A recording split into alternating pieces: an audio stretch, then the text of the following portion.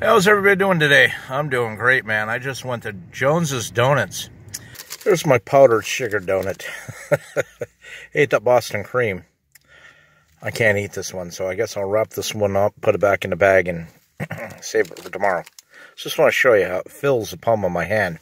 It's heavy. One of the heaviest donuts I've ever held. Anyways, our coffee selection. They got a whole bunch of different varieties and flavors. And uh, it's just a good place, family run, small hometown feel. Staff is always friendly and polite and cheerful, and I mean, you just can't beat it, you know. On West Street in Rutland, Vermont, this thing was huge. Probably just ate uh, three quarters of it, and I still got this big chunk left. This is a Boston cream. In the bag beside me, I got a jelly, powdered jelly donut, and a large coffee. Time of this video, March 2023. $5.50 for all three of these things.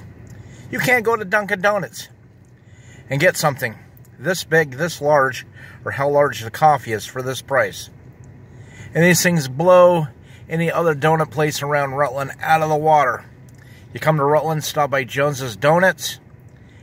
Oh, you won't regret it, man. The flavor, the texture, everything is phenomenal over the top.